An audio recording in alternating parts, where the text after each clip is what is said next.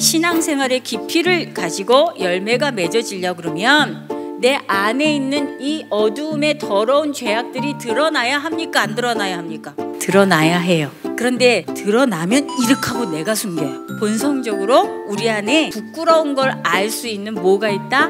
양심이라는 게 있어요. 근데 양심은 다 똑같아요. 차이가 있어요. 어떤 사람은 욕을 해놓고도 하나도 양심에 안 찔려요. 근데 어떤 사람은 상대방은 아무렇지도 않은데 그 양심에 또 찔려서 조마조마하는 사람도 있어요. 교회로 들어와서 여러분들은 기준이 같아져야 돼요. 이 기준이 뭐예요? 말씀이에요. 성경 안에는 내 모든 상황에 대해서 그것을 다스릴 수 있는 말씀이 있다 없다. 그런데도 그것을 보려고는 하지 않아요. 괜찮아요. 어지간히 난 착한 양심을 가졌어요. 그럼에도 불구하고 내가 예수님을 만나는 말씀 위에 있잖아요. 그 말씀은 내가 생각했던 내 양심의 깊이보다 훨씬 더 깊어져서 그 양심에 이르기까지 나를 성령이 인도하신다 안 하신다. 말씀을 가지고 들어가면 여러분들이 기준이 바뀌기 시작하는데 세상에서 내가 가지고 있었던 양심의 기준이 바뀌어지면서 뭘로 바뀌어지냐면 진리의 기준으로 바뀌어지게 돼 있어요. 그런데 뭘 알아야지 바뀌어져요? 요걸 알아야 바뀌어지는 거예요. 여러분들이 말씀을 읽어내려고 하면 안 돼요. 말씀이 여러분을 읽어야 돼요. 말씀이 내 뭘 읽어요? 어떤 생각이 교만했지?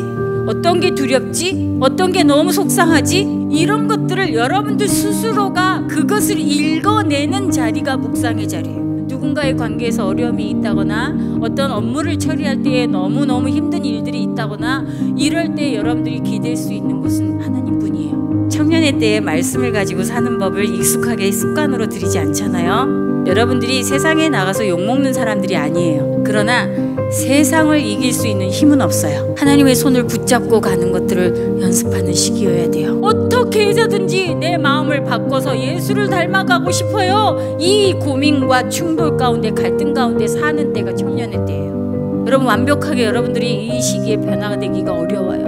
고민도 많고 충돌도 많고 해야 될 일도 많고 너무 너무 많은 일들이 여러분들의 때에 있지만 예수 그리스도 안에서 능력 주시는 자 안에서 모든 것을 할 수 있다. 없다 있다.